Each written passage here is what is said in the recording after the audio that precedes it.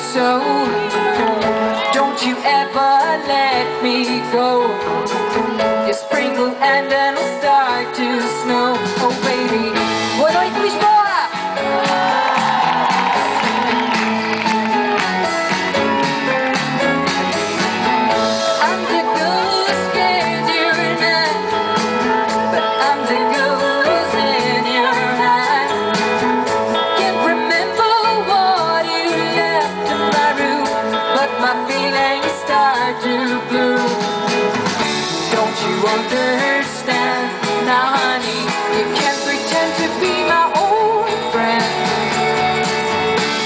your point of view and tell me